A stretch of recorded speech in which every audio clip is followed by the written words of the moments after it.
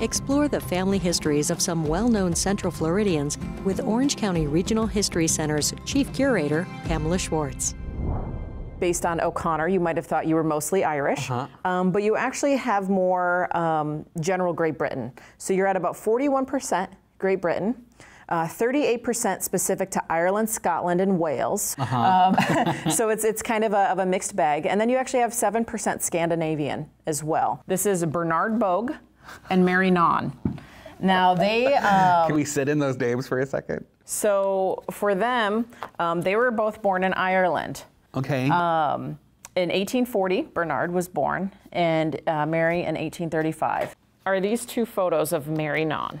Whoa. Whoa. Now- look at her face. I will tell you something about this image. Do you know what this is? No.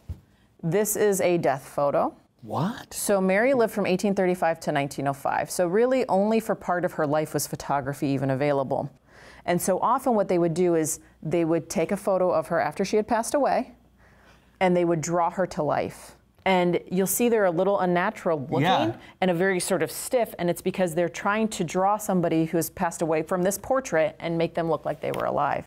Can you imagine in like 20 years, people are going to be able to go through our Instagram accounts? Yeah. Right. And that's how To they're going to remember this? you. Yeah. Not not through your death photo, No. uh, but through all the amazing things you have on your Instagram. This is a sandwich he ate it. Yeah, you know, we're lucky to find these photos because somebody had to have digitized them for me to find them. Uh, and who knows where the actual copies exist. And now we don't print our photos.